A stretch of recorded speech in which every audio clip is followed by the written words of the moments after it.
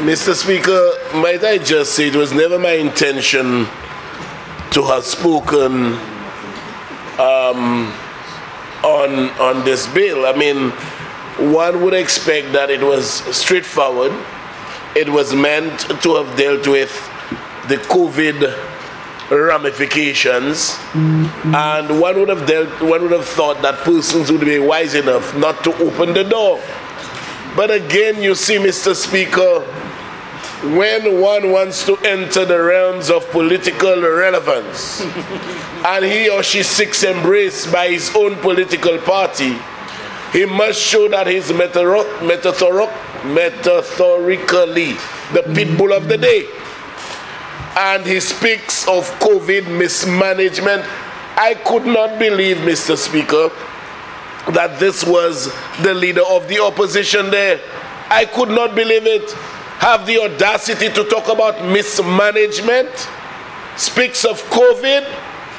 The very man who took $7.3 million of taxpayers' money to give to his brother in law, gave to his brother in law the people of this country are yet to fully recover the $7.3 million, has the audacity to talk about mismanagement.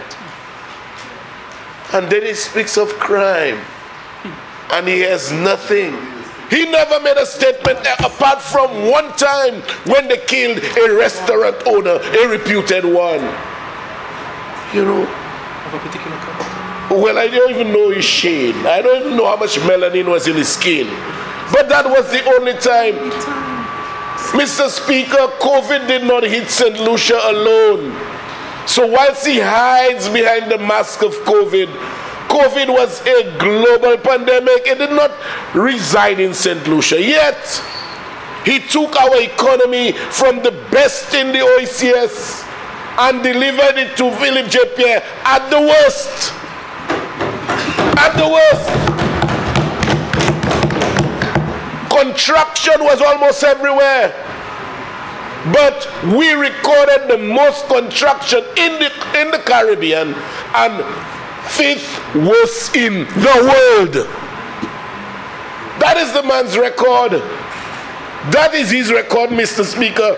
So when you hear him talking of, you know, here we are borrowing 14 million EC to be paid over 80 months, which is seven and a half years.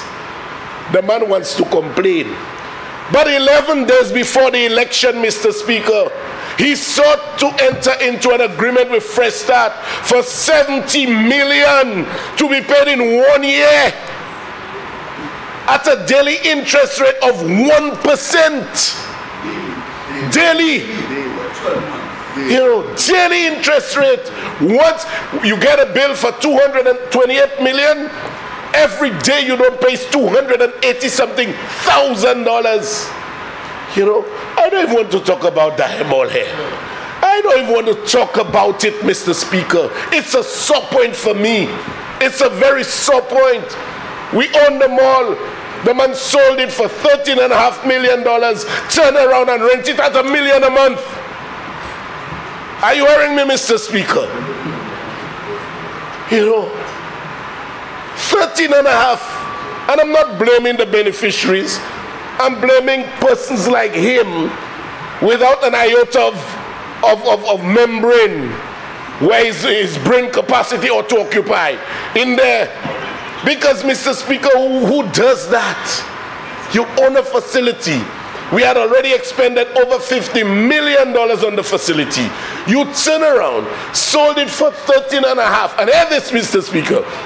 He sold it outright for 13 and a half million. In the agreement, we had to give the man back 12 out of it to retrofit for us. So we are left with one and a half million dollars and then to pay almost a million dollars in rent for 16 and a half years. You know, who does that? and you today want to talk about management, Mr. Speaker, honestly, I, I have a list, and when he saw I went for it, he knew. You know, I have about 20 misdeeds, the Lockerbie's, the T.O.R. King, you know, all of those things. He stayed in a hotel at 2,000 pounds a night. 2,000 pounds a night. He cares about us. He cares about us. The, the, the, the vehicle he drove, which the prime minister inherited, I don't know why he did that. But again, being as humble as Philip J. Pierre is, he would always do. Mr. Speaker, only now this vehicle goes off. When he leaves his home in the morning until he gets back in the night, the vehicle runs all day.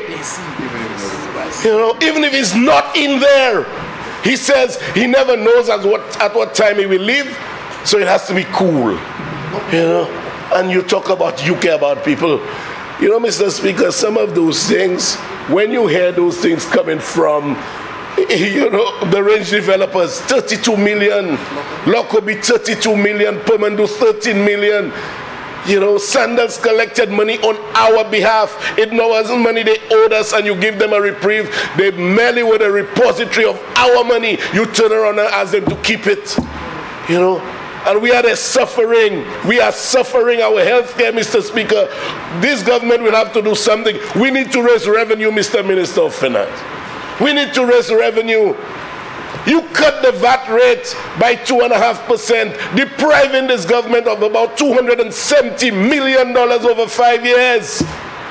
And in addition to that, you squander everything that we had. And today you have the audacity to open your mouth and talk about mismanagement. Mr. Speaker, let me let me stop here. I'm waiting for the real creme de la creme, the debates on the accession to the CCJ. I thank you.